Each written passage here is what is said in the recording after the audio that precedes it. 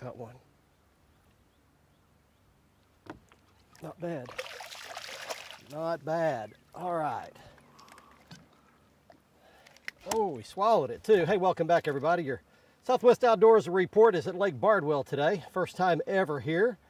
And uh, trying a little white bass fishing on for size and trying to track the movements of white bass. And we've talked about where to find them, couple of keys on your favorite lake. And this one's gonna take a little surgery to get loose. So I'll just give you a quick look at him right there. And I want to give you a couple of facts about Lake Bardwell in case you'd like to come here. It's not a big lake. It's 3,100 surface acres. It's uh, impounded on the Waxahachie Creek, which is a tributary of the Trinity River. Max depth is about 45 feet out in the creek channel down near the dam. And it was impounded in 1965. So it's an older, kind of a silted in lake. Doesn't have a lot of cover.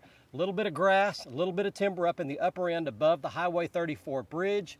The rest of the lake is pretty open, and if you want to come here, you're going to be fishing gravel points, sand points. Does have a pretty good population of largemouth bass as well as some catfish and a good population of crappie and a few man-made brush piles sunk around it as well. So a little information about Lake Bardwell in case you'd like to make a trip here.